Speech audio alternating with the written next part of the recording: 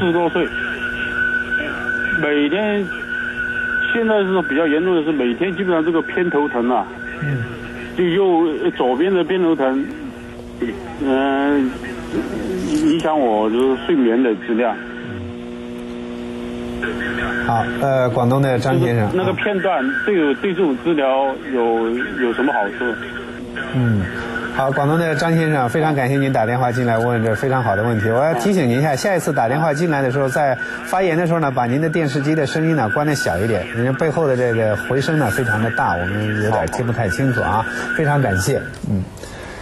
刚刚他说这个治疗，我们放的是半呃这个膝关节软骨的这个愈合治嗯对，我们。刚才是膝关节软骨，他说他是好像小的时候玩那种一只腿撑着小孩儿之间这种打仗那种游戏，把膝，盖把膝盖的半月板给呃好像骨折撕裂露出来撕裂了。嗯对这个，嗯，我觉得这个一个是刚刚放的那个是一个还在研究中的一个治疗，嗯，软骨的这个嗯治疗，所以我觉得就现在临床上还没有这样子应用。这是一种一种正在研究实验对实验性的一个介绍也是这样说，是一种嗯实验性。对，那么半月板有经常情况下治疗就是啊、呃现在可以关节腔内啊、手术啊、如果是有撕裂，他们呃可以在呃用那个啊、关节腔呃镜可以缝补，嗯，把它修复。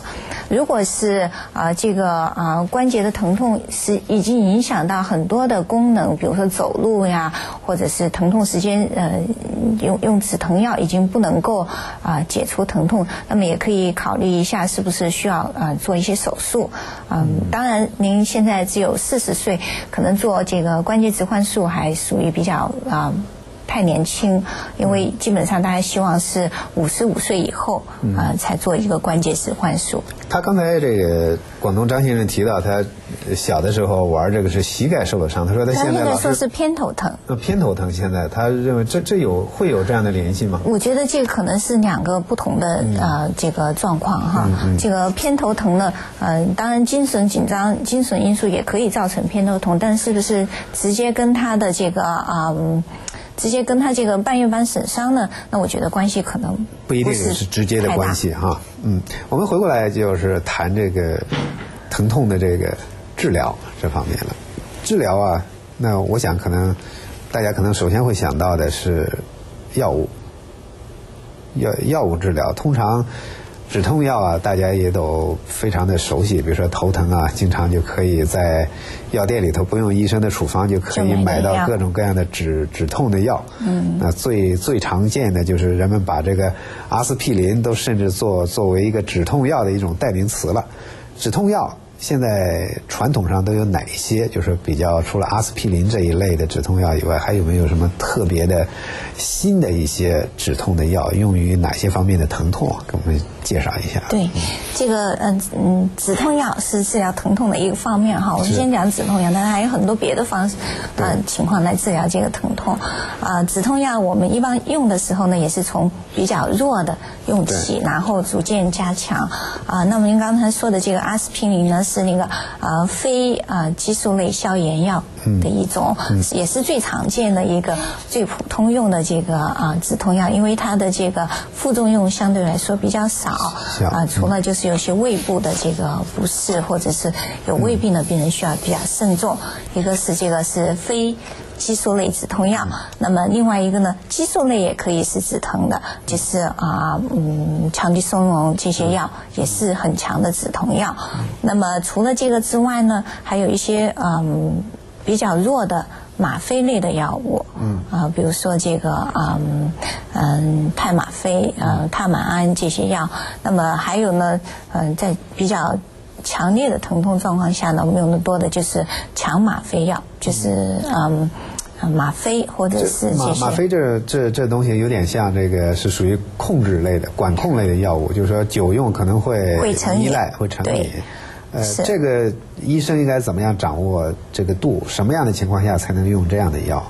一般来说，就是如果能够用别的药物，我们一般希望先用别的药物。嗯。呃，那么刚才还有一类药没讲的是叫一种，现在就是嗯、用比本来是用来治愈别的情况的药物呢，现在被开发于用到治疗疼痛上，比如说很多抗癫痫药，啊，我们发现是对治疗疼痛很有很有好处。实际上是一种治疗，呃，精神这方面的一些药。治疗神经疾病的一些药，对对，治疗疼痛。发现对疼痛的治疗也很有帮助，就是降低了疼痛的这个敏感性。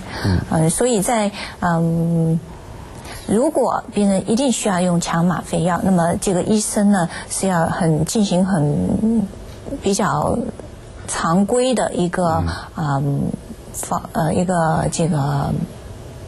常规的呃随访，嗯。一般来讲，我们都是每一个月啊都需要病人回来，重新再观察是不是药物有效。啊。如果没有效，那么就要逐渐的把它减掉，减掉或者换一种别的药，或者要换一种别的药，或者是啊已经产生了身体生理上已经产生了对这个药物的依赖，但是药物确实是非常有用、有效的治治疗了这个疼痛状况，那么就需要再。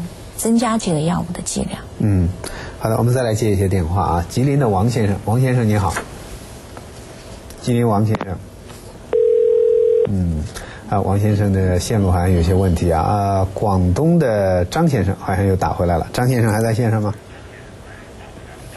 哎，张先生，请讲。你好。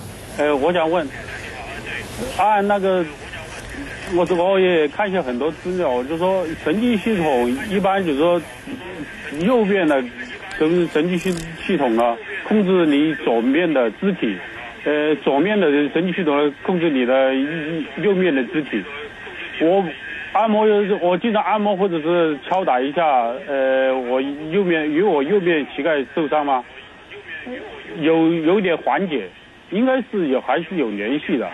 那刚才那个嘉宾说没有什么联系，我想应该是联系的。嗯。张先生是这样子的哈，确实是左边控制右面，左边大脑控制右边的肢体。嗯，这个是因为那个神经传传输在这个呃脊髓的时候做了一个交叉，所以呢，嗯，是控制对侧的肢体。但是这个嗯这个偏头疼吧，嗯，是一个非常就是嗯典型的一种嗯头疼。嗯，目前还没有发现头疼和关节疼啊有直接的联系。但是你你可能正好是发生在头疼是在左边，敲打一下。嗯。您您按摩左右边的膝盖，您觉得左边的头疼啊？有好处，有有点缓解，有点缓解。这个我觉得并不难理解，因为你可能不仅是按摩左边的膝盖，或者是你按摩了右边的膝盖，或者是做了一个全身的按摩，也许对你的这个偏头疼都有一定的好处。嗯，好，呃，这是广东的张先生啊，我还是要提醒您，您下次打电话进来在发言的时候，把您的电视机的声音啊关的小一点，我们还是听到后边有回音。啊，好，非常感谢广东的张先生。我们刚才谈了这个药物的治疗疼痛，除了药物治疗以外，那就是物理疗法。对。啊，介绍一下哪些比较常用的物理疗法？对。因为我看到有些地方医生治疗的时候，比如说，呃，脊椎疼痛，吊上很重的东西来牵引等等。